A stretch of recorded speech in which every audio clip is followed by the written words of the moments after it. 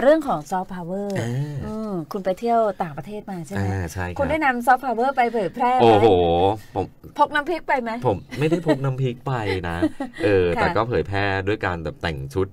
เหมือนกางเกงอารมณ์กางเกงช้างอะไรอย่างนี้บ้างอะไรอย่างสบายนี้สนะครับบายๆใช่ไหมใช่อืมนะครับอืมอากาศเป็นยังไงคะอากาศ ที่ที่ต่างไปญี่ปุ่นมาอ่าไปนะครับญี่ปุ่นมาจะบอกว่าเป็นช่วงฤดูร้อนของของเขาแล้วแล้วก็ร้อนเท่าเราไหม ยังผมว่าไม่ร้อนเท่าเรา แต่ความร้อนชื้นของเขาอะผมรู้สึกว่าเยอะกว่าเย็นของเขาจะประมาณ สบายกว่า31ถึง33 องศานะตอนกลางวัน อืมก็อาจจะเหมือนก็ไม่ร้อนประเทศไทยมากสมัยก่อนนั่นแหละที่เออที่ประมาณนี้ ใช่ แต่เดี๋ยวนี้ไทยเรานี่หน้าร้อนก็ 37 38 แล้วไงแตะเข้าไปอ่สี่สิบนู่น ใช่ แต่ที่นั่นก็ประมาณอ่า33 องศาก็ก็ค่ะร้อนอยู่เดินอาจจะเดินแล้วก็ เหงื่อซกอยู่เหมือนกันอืมครับค่ะอืมก็ไปเที่ยวมาเนาะครับตอนนี้เขาก็จะทำงานหนักกว่าเดิม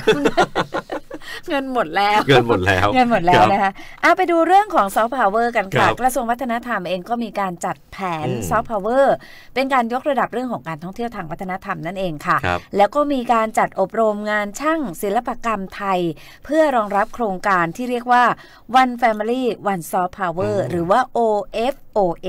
ครับของรัฐบาลเพื่อที่จะสร้างอาชีพสร้างรายได้ให้กับประชาชนทั้งประเทศนั่นแหละค่ะ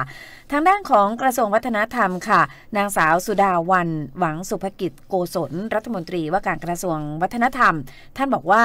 ได้ไปติดตามการขับเคลื่อนนโยบายซอฟต์พาวเวอร์ของกรมศิลปากรแล้วนะคะ เพื่อที่จะสร้างรายได้ให้แก่ชุมชนท้องถิ่น ซึ่งก็จะมีการผลักดันและยกระดับแหล่งมรดกทางวัฒนธรรมอืมให้ได้รับการขึ้นทะเบียนเป็นมรดกโลกทางวัฒนธรรมด้วย 2 ก็คือการปรับปรุงพิพิธภัณฑ์สถานแห่งชาติ 42 แห่งด้วยกัน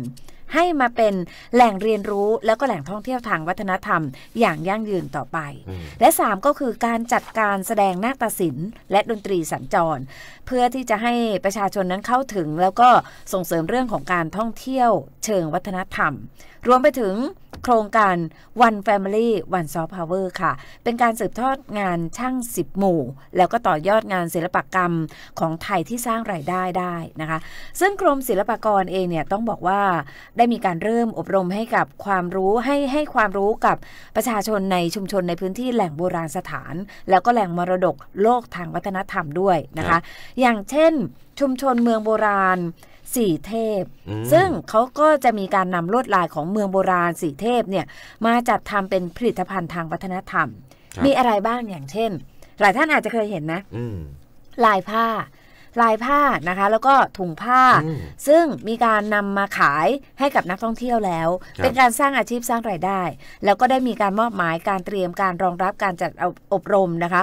One Family One Soft Power ก็คือ OFOS นั่นเองค่ะ ของรัฐบาลเนี่ยแหละค่ะอืมต่อเนื่องครับแล้วก็อนาคตเนี่ยก็จะมีการจัดตั้งศูนย์เรียนรู้ฝีมือช่างสิบหมู่ แล้วก็ศูนย์แสดงสินค้าช่างสิบหมู่ เพื่อที่จะเป็นศูนย์กลางในการจัดแสดงศิลปะ ไทยศิลป์ไทยนะคะที่เป็นมรดกของชาติอืมแล้วก็มีการนำสินค้าของชุมชนเนี่ยมากระจายรายได้ของชุมชนที่อบรมที่ผ่านการอบรมเรียบร้อยแล้วครับนะคะ มีฝีไม้ลายมืออมแล้วก็มีเอ่อการออกแบบอะไรที่น่าสนใจครับของกรมศิลปากรอืมต่อไปด้วยอืมอะก็ถือว่าเป็นอีกช่องทางหนึ่งครับที่สามารถที่จะไปติดตามได้ แล้วก็อันนี้เป็นซอฟต์พาวเวอร์ของไทยนะคะใช่อีกแขนงหนึ่งอืมอืมนะครับ